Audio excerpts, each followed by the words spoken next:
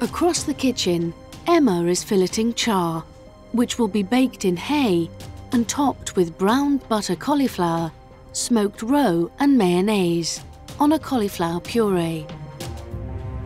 Cooking in hay is really difficult. Okay. Because there'll be a lot of flames and a lot of smoke. Okay. So I don't even do this. I just like.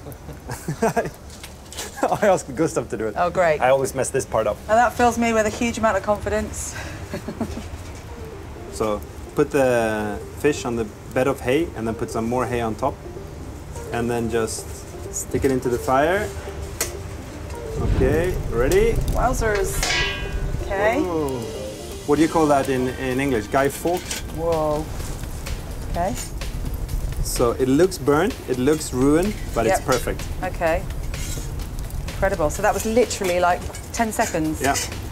And you do that again second time Yeah. on the side. So you understand why you need the gloves. Yes, absolutely.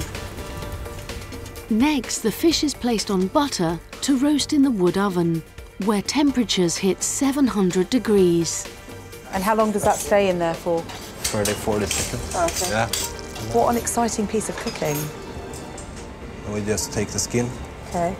and peel it off. Wow, it's quite easy to Yeah. peel off, isn't it? If this not cooked properly, the skin won't come off. Okay. Right? Have a taste.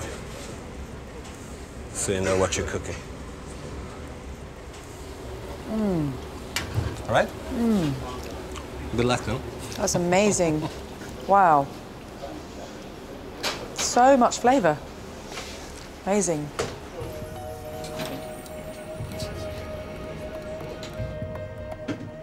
I've never cooked this fish and I've never cooked this way. So it's a whole new learning curve for me.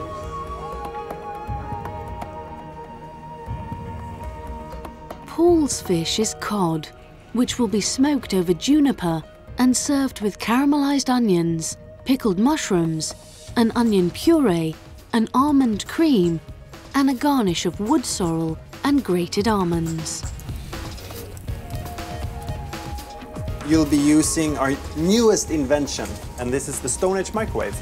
So you'll be cooking the cod with a little bit of salt and then stick it in a lot of butter because we want that butter to be flavoring part of the dish. And then Gustav is bringing the juniper wood. This is really important now, that the juniper is properly wet. Because if it's too dry, it'll just burn out. Yeah. And it's really, really difficult to be cooking this perfectly now. And this will definitely be your most difficult thing today. Okay, So approximately 10 minutes. okay.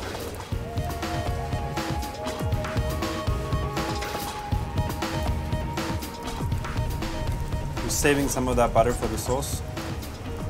Not very Stone Age, but it's super modern actually. So, but this is the thermometer you'll be using to check if the fish is done. Okay. So you want it to be 40 Celsius in the middle, okay? Right. Good luck. Thank you. I'm loving it here, but I haven't actually been at the stove yet. and I know that cast iron pans retain the heat very, very well. So I'm just a little bit worried about what happens when something is a little bit too hot because it's not something you can cool down very quickly.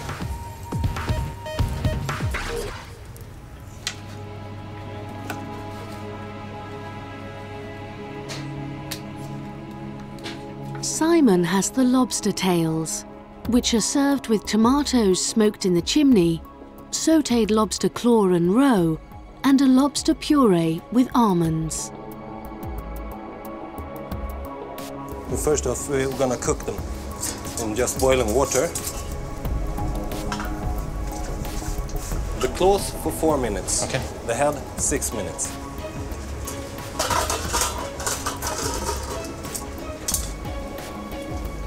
Now for tomatoes. I hate tomatoes. Gustav is the. You already charged it tomato. no, because I think that tomatoes is, is not a Nordic product, but when we opened the restaurant, uh, Gustav w- wanted this really this dish on the menu, Okay. and then I thought, ah, I don't want tomatoes on the menu. But then, and then all the guests were like, oh, those are amazing tomatoes. so he was right, I was wrong. and here we are. So